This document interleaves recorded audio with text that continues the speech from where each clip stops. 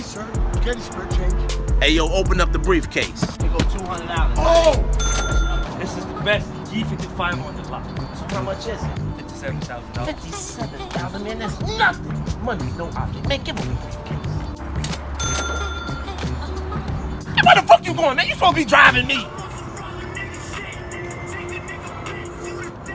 So how much is it?